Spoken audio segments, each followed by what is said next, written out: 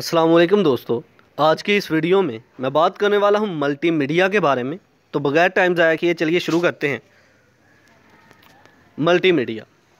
तो क्या है कि हमारा कंप्यूटर सिस्टम जो है, हमें डाटा टेक्स्ट की फॉर्म में, वीडियो की फॉर्म में, इमेजेस की फॉर्म में और ऑडियो की फॉर्म में रिप्रेजेंट करता है।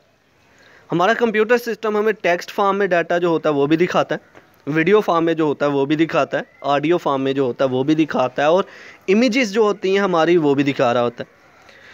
टेक्स्ट वीडियो ऑडियो इमेजेस ये सारे के सारे क्या है मीडिया हैं। इन सबको मिला दिया गया और नाम दे दिया गया मल्टी मीडिया का। तो हमारा कंप्यूटर सिस्टम जो है, ये एक मल्टी मीडिया डिवाइस है, क्योंकि ये मल्टी मीडिया डाटा को रिप्रेजेंट कर रहा है। रेडियो जो है, ये यूनी मीडिया है। यूनी मीडिया कहा जाता है कि जो सिंगल मीडिया को बता रहा होता है, सिंगल मीडिया को रिप्रेजेंट कर रहा होता है। रेडियो सिर्फ़ हमें ऑडियो जो डाटा जो है, वो रिप्रेजेंट करके बताएगा। ऑडियो डाटा हमें सुनाएगा और कोई नहीं बताएगा। तो रेडियो जो है, ये एक यूनी मीडिया डिवाइस है, ठीक है? तो मल्टी एक ऐसा प्रोसेस जिसमें हम अपने audio, video photographs animated videos हर चीज़ को देख रहे होते हैं। ये सारे के सारे मीडिया हैं, इन सबको मिला के नाम दे दिया गया मल्टी मीडिया का। तो चलिए इसको लफ्जी तौर पर पढ़ते हैं।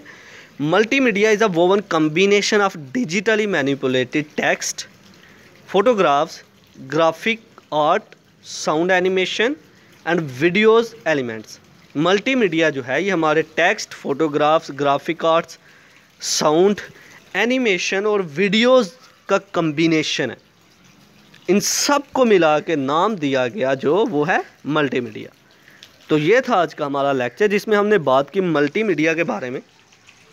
आई होप कि आपको मेरी ये वीडियो पसंद आई होगी। Like this video share this video and comment below this video if you have any question thanks for watching subscribe focus group अल्लाह हाफिज़।